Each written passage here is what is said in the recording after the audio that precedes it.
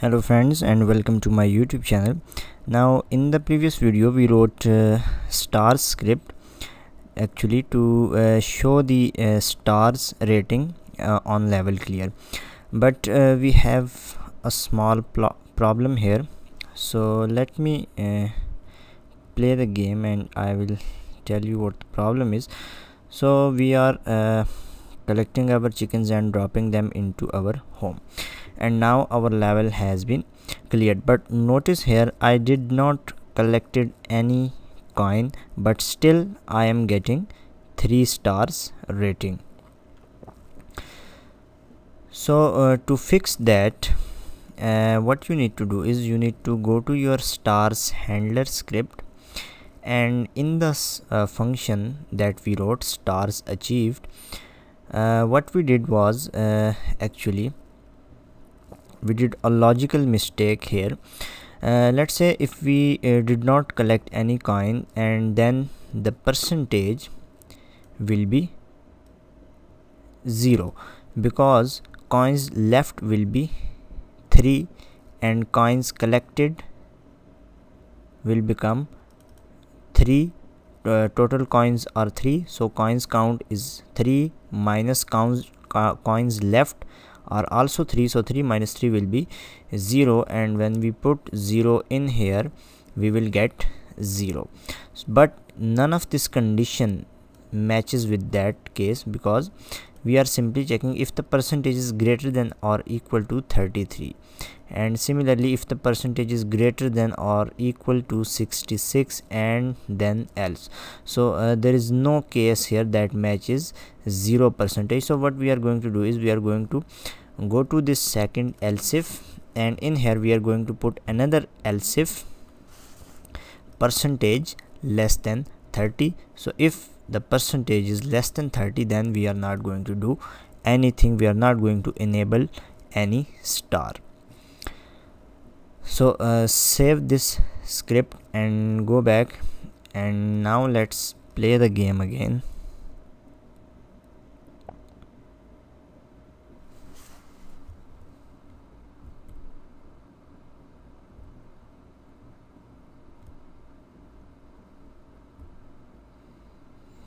so now we are not getting any stars because we did not collect any coin and the percentage here is you can see that we have zero percentage. That is this debug line right here. Now after that uh, you will also notice I have these three new buttons in this dialog so uh, to create this dialog what you need to do is uh, let's go and enable our level dialog and in the level dialog i have this i have this uh, panel game object. So uh, simply go to canvas and go to ui and create a canvas. Uh, sorry not canvas uh, panel now after creating panel name that panel to bottom panel and remove the canvas renderer and image component both of them from our panel. And uh, scale this panel at the bottom of this dialog and uh, make sure to put these anchors white arrows on each of the corner. Now after that in this uh, panel game object i have three buttons. So simply in uh, click on the panel and then go to UI and then create a button. Now after creating a button uh, change its name to back to main and in the projects I have provided all the sprites for these buttons. So uh, here is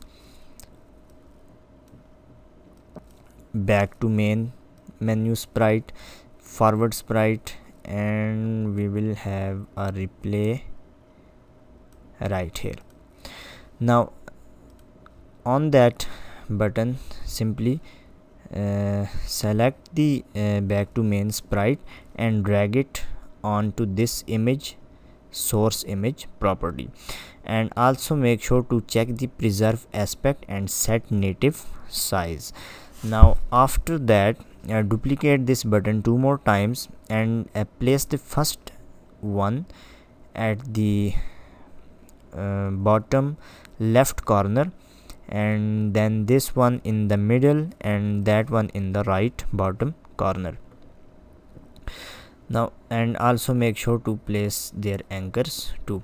Now after that uh, you need to create you need to go to this UI handler. And on the UI handler we have a script called UI handler. So open this uh, UI handler script.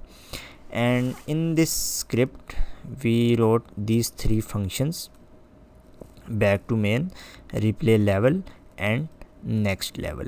So simply in the back to main we know that uh, the main scene will always be at zero index. So we are simply going to say scene manager dot load scene and zero. Similarly replay level we will get this active scene. Whatever scene the user is playing we will get the that scene name and we are going to reload it by calling load scene and the next level will always be uh, the next level at build index. So we are simply getting the current scene build index and then add 1 to it to load the next level in the build index. Now save this script and go back and then on back on back to main on click create an event by clicking on this plus and drag this UI handler onto uh, that and then select stars handler uh, sorry UI handler and back to main. Similarly for replay again select the UI handler drag it right here and select replay level and the next level function for our next level button. Now uh, another thing that you have noticed i have an animation on my level uh, dialog now to create an animation simply go to your animation window and select the level dialog. Now you will have a create button right here. Simply click on that create button and uh, name your uh, level dialog animation as I did right here level dialog animation and save it inside your assets animation folder. Now after that uh, simply hit this record button and on the first frame change the scale.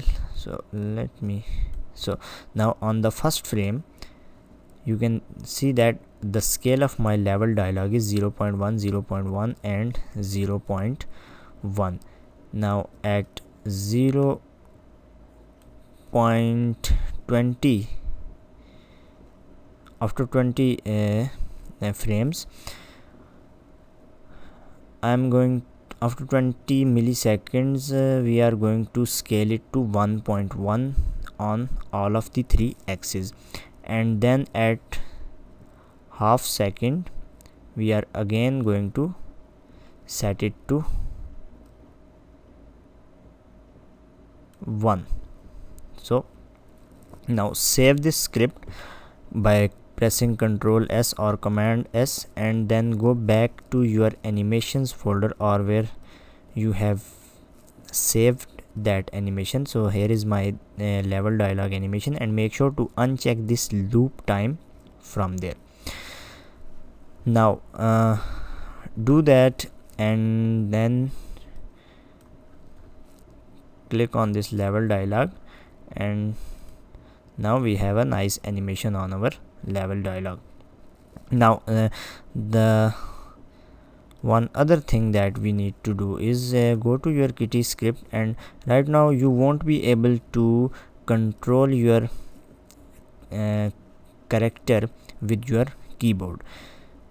So uh, to because we commented this line of code in the previous video and now I have surrounded it with an if statement by simply checking if the platform we are running our game is windows editor or unity editor then we can execute this line of code. But when we build this game onto uh, ios or android now this condition will be going to be false and this line of code will not going to work. Instead we are going to control our player by using the on-screen buttons that we have created in the previous video. Now that's it for this video and uh, i will see you in the next video